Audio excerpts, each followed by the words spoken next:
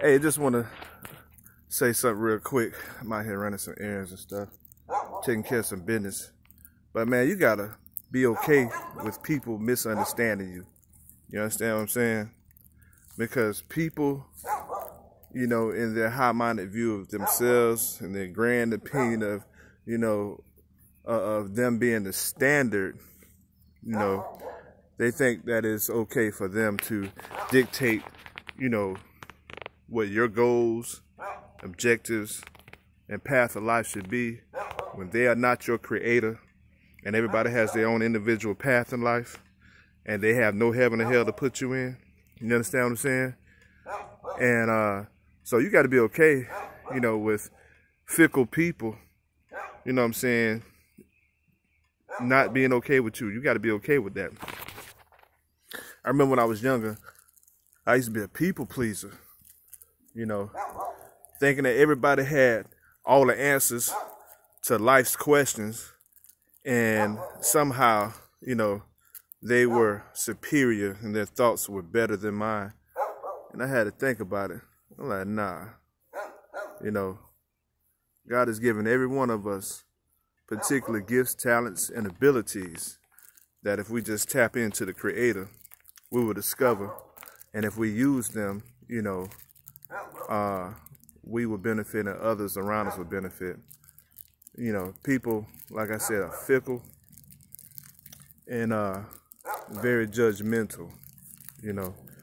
So I don't play to the beat of somebody else's drum, you know. I ain't that type of person. And uh, I'm gonna be me regardless of who like it. You know. Now, we all should be people that are teachable and coachable. We all can learn from each other. You know. But it's just uh, the attitudes that people have.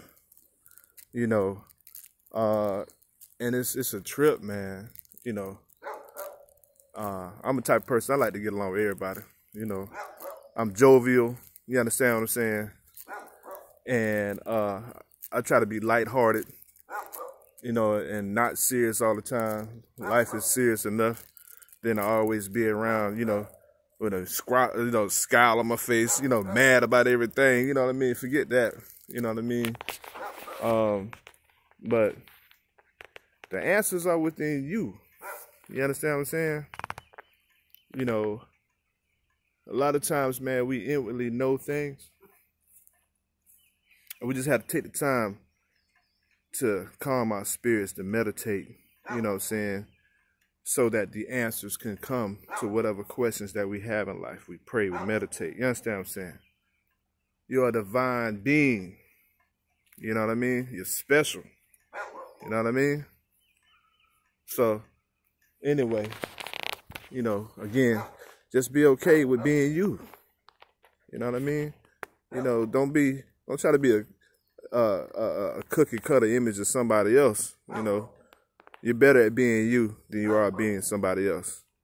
So, my handsome self has to go on and finish my daily routine. Peace. Y'all take care of yourselves.